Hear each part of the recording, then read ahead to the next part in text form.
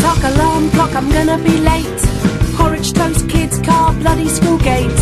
Factory floor, what a chore, another week's craft.